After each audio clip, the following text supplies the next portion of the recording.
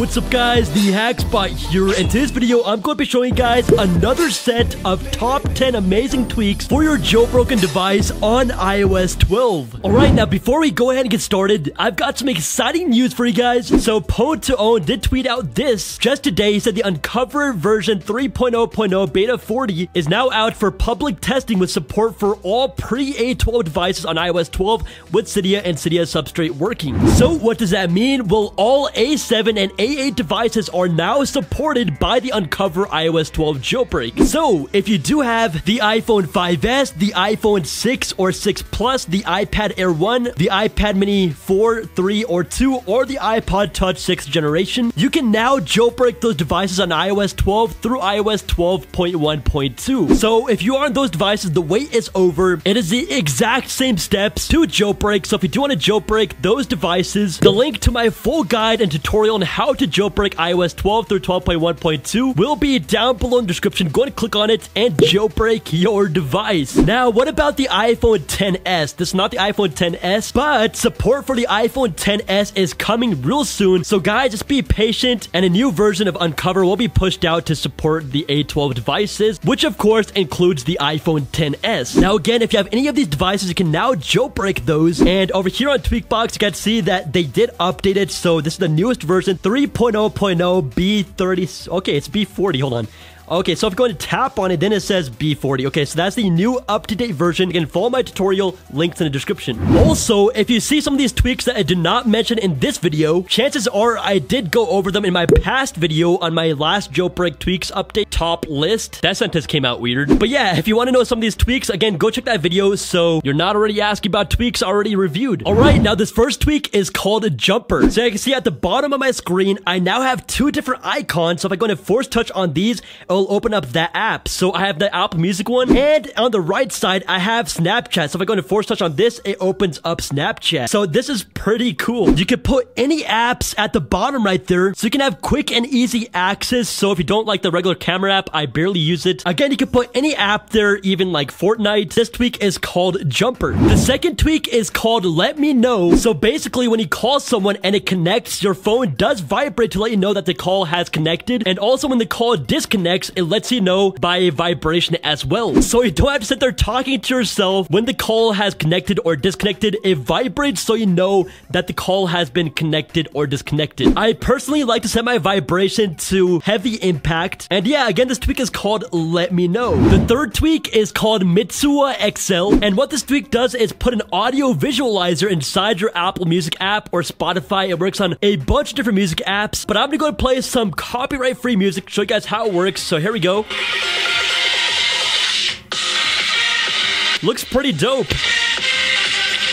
So again, this tweak is called Mitsuha XL. The fourth tweak is called Better Settings, and what this tweak allows to do is change up your settings to make it look a lot cooler. So you guys can see I have Noctis running as well as its custom background, so it looks pretty cool. Especially go to the top, it has a blue background, and I put that image myself. You can put any picture that you want and just do so much more to customize how your settings look. Again, this tweak is called Better Settings. This fifth tweak is another must-have tweak called CC Modules. So once you have this tweak installed, you can head over to Settings, Control Center, customize controls, and here now you have a bunch of other options. You can put Cydia up there, respring, reboot, enter safe mode, and so many other options that this adds. So I got a Noctis toggle and so many more. So you can see I could go and tap right there and it opens up Cydia, and I have so many more. I can tap on this button to go and respring my device straight through control center.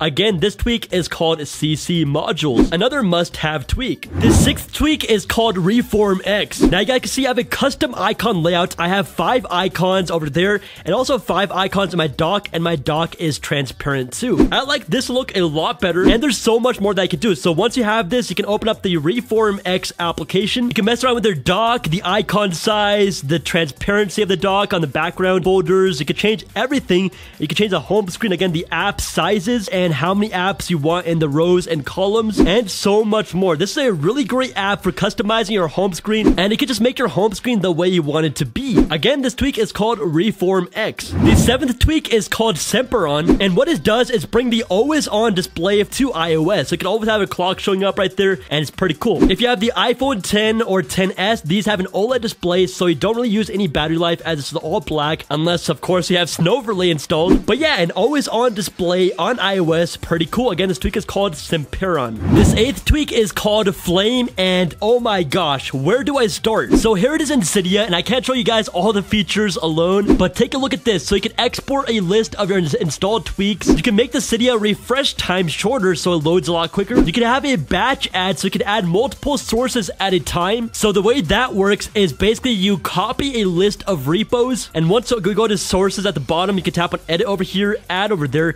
and there's a batch mode. So once tap on that button, it'll basically add all the sources that you copied and just add them. So you can add sources in bulk really quick and easy. You guys can see my Cydia also looks different. You can change the UI colors of Cydia. I now have blue icons and a yellow nav bar or tab bar thing at the bottom. It brings a pull to refresh. It just pull down to refresh Cydia. And also, when you go to install a tweak, once it's done, it could automatically respring if you enable that toggle. So you don't have to manually hit respring. It just automatically hits that button for you. So you can just look away. Again, this one is called Flame. This ninth tweak is called record music. So usually in iOS, when you start recording on your device using a screen recording, if you want to play music in the background, it does not like to do that. It pauses the music so you cannot record and play your music at the same time. But with record music, you can't. So let's go back to no copyright sounds. I'm to play a song and I'm going to record my screen.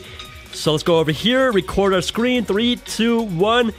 And now we are recording. You guys can see my music is still playing and it's recording at the top right there. So pretty cool tweak. Again, this tweak is called record music. And if you want to have music in your background, you can use this tweak. And the 10th tweak is called battery percent X. So you guys can see on my iPhone 10 over here, instead of the battery icon, it shows a percent, which is so much more useful. I hate swiping down to see the battery percent. It's always right there in the corner and I love it. Also, you can put your device in low power mode simply by double tapping right there. And you guys can see now it's in low power mode. And what the heck, I'll show you guys a bonus tweak. So this one is called tap time. So you guys see my time is right there. Once to tap on it, it then shows the date. So all I got to do is tap on it and there you go. It shows the date. So no matter where you are on your device, you don't have to go to your home screen. Again, battery percent X and tap time. All right, so there you guys have another set of amazing tweaks for your iOS 12 device. Oh, and by the way, if there are any repos that need to be added to install some of these tweaks, the repos will be down below in the description. And if you haven't already, check out my previous top tweaks video. Thank you for watching. This is the TechSpot.